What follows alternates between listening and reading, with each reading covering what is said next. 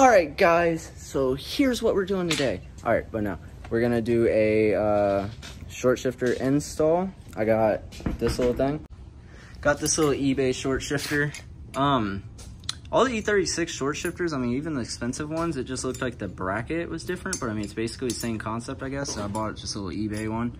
So then I actually have like, I can put a uh, likewise shift knob and shit. I don't have the stupid Euro shit anymore.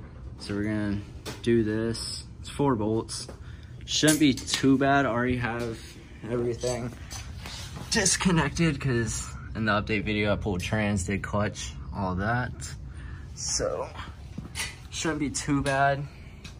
Also, I uh, I did the Bondo there, and that's just spray paint, so tell how much whiter that is, but who cares? Car's gonna get wrapped, I think. So yeah, that's that. Tail lights are out right now. This side's done, no more rust hole, so that's cool.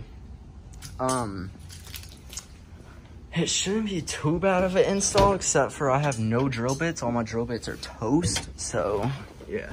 We just have to drill our hole here, hole here, hole there, hole here, since it's chassis mount.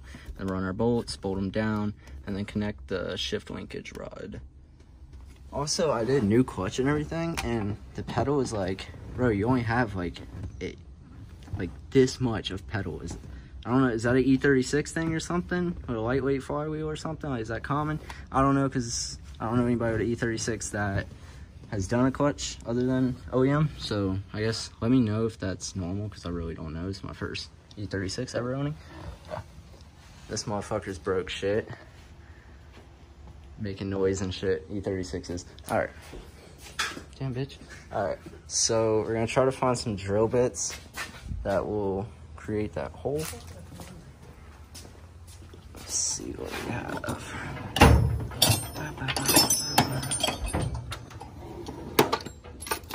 I think this motherfucker right here might eat, to be honest.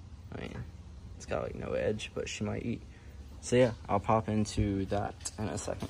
It just sandwiches itself down and this plate goes on the bottom and just sandwiches it to the car. So I don't even have drill holes. This was probably the easiest install ever, actually, except for doing unconnecting everything. So your old shifter, I don't even know where that's at. Uh, here. So this is your old shifter on the E46. You're gonna have this bullshit. You don't need this anymore. This is what holds it to the car, but you don't need that because now you're having these plates sandwiched to the chassis. This is the most annoying piece to get off. I'll show you that in a second on the trans. So I'll show you that. So, yeah. So basically, this is how I got them all started. This will just twist so we can line it up with this piece here. This is the piece. This will slide in once we get it all together. That'll slide in. There's just a little clip like this right here. A little clip and a little ring. So this is the piece I was talking about here. I can show you good view. This. So that piece is gonna sit through here. This rod comes out. You have to get a little flathead. Let's see if I can do it with my hand. I don't know if I can. Oh, almost. Ah, that bitch is hard. All right, so basically see how I have it up? You have to get a flathead in, pry it up. This clip will come up and that will, I wanna get it so I can show you. Hold on, let me see if I, let's see if I can do it this side. Oh, this is, I can't see anything, I'm going off the camera, but. You need two flatheads. All right, you need two flatheads? Yeah. Yeah, so, all right, you need two flatheads, and you just have to get this clip up, because, see, it'll go down like that. Just it up. Small one and a long one, and then this is just a pen. It'll pull out. Take that off. It mounts right in here, like I said. It just holds it to the car, but that can come out. You don't need that anymore. This is literally it. And then you just connect this piece back, but we're going to have to adjust this, because loosen this. This will screw down. Adjust that shit. I'll show you how it looks in car. Sits up. Doesn't sit up too high. But I mean, I'm to do a different shift knob, but yeah, it's really stiff, as you can see. Like, it's smooth. Really smooth. But that's literally the install. And then it's just the little Allen keys and then a bolt. You, you guys can figure that out. I don't know the size yet because I haven't tried. And then just slap your fucking boot back on there and that's a fucking short shifter install. The hardest fucking part is pulling this shit out. I don't know if you, I can't remember, because I did this all, I dropped all of this shit so I could do the clutch. And then I was just replacing everything as I go. So I don't know if you need, you possibly have to get the drive shaft out the way, because I mean, as you can see, drive shaft is literally going across right where it is. So you probably have to get drive shaft out the way. Exhaust comes more this way, so I'm not sure if you need that out the way. But yeah, you'll have to figure that out once you start doing it. Just start dropping shit. But the main reason the video is this, and that was the easiest thing ever. So yeah.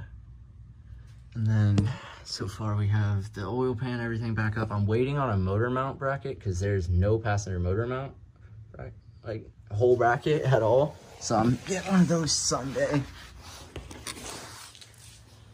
Have one of those in Sunday because literally the motor is sitting fucking like you have like a fucking foot to go up. So that'd be nice. I'll probably raise the motor eventually. I have more stuff to order.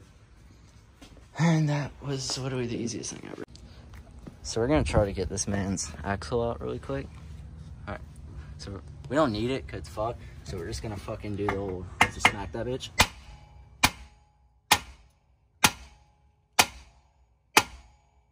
That, that bitch is in there. How the fuck? That bitch is in there. see if it doesn't look like it looks like all the splines are fucking lined up so i don't know what's going on with that it looks like all the splines are lined up so it's not messed up so his car is making a weird noise we thought it was the diff because he had a lot of diff over there so we took that out to see if maybe the diff was fucked up because one of the cups on it was moving in and out and yeah so we took that out put the normal open diff back in but it's still making the noise so now we're going to axles he's gonna throw in my old axle to see if it still does it so now we're just trying to get this bitch out, and that's why we're beating it with a fucking hammer, because we don't care. There's another one's going in it. So yeah. Alright, so now it's uh, nighttime. Boy's axle did not want to come out. Never seen an axle like this in my life that didn't want to come out, so we had to beat that bitch with like the legit sledgehammer. We fully crushed it, because fuck it. Don't need it. So, have it back together. Almost. This man's just putting it back together got the good one in here. Like, she's pretty golden, so I think she should uh, not make any noise and should be good. This cute, cute boy's doing it. Um, God damn it, I Yeah. sweat in my eyes. we just beat it with a hammer, and then we uh, beat it with a hammer to get it back in because it didn't want to go. So, if Don't you, buy an E36. yeah. So we're gonna see if it makes noise anymore, and if it does, I say just let it eat until It does cars for sale. Yeah, cars for sale if it makes noise still, so watch out for that. What's up with this ratchet? I personally say drive it until it breaks, and then when it breaks, you know what broke. So that's my way of doing it, but oh well. We're gonna see if this works. Yeah. I still have to tighten these down. I haven't tightened them down. So I think I already explained that. I'm gonna find the size for that and I'll tighten this down now. Alright, so I found the sizes for the shifter.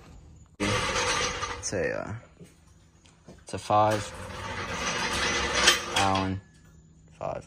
Um, the nuts on the bottom are a normal 13. Yeah, it's a 13. Can't show you. All right, so you're gonna need somebody on the bottom of the car and then somebody on the top. So I'm gonna have my girlfriend do this part on top. She's actually, uh, she went to school. She's actually certified with a ratchet, so this will really help out. It's the only certification she has is on ratchet, so yeah, if you need any work that involves a ratchet, DM her on Instagram. She can help out with that. All right, so stick that thing in those holes. You should know what I'm talking about at that point. Yeah, just hold it in there. Mm-hmm. I'll do the twisting and shit. So now we're down here and it should be on this one. All right, so the shifter, like, okay, so up here in this little piece in there, there's a little black bushing, um, which is which is this piece here. And it was super tight. This rod did not want to go on there. So it not wanting to go on, I had to take it out of the shifter and I just kind of hammered it on there to get it enough because you can see when you look at it, there's like a little groove for the clip to slide on, which is this piece, the little clip locks on. So I took it off from here, right here, slides in, and then or there are these little washers that go on, so don't forget those.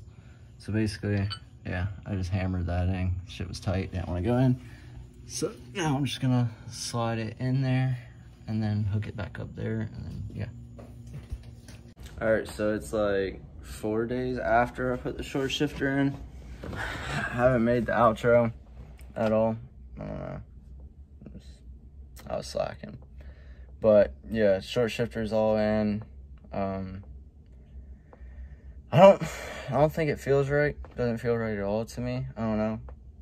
Um, feels kind of janky, but yeah, like it kind of leans to the right and shit when you go in neutral. I don't know if this common thing on E36 is. So if you've done short shifter, just let me know in the comments. Cause I don't know. I don't want to fucking fix anything else on this car to be honest. But yeah, this is how it feels and shit.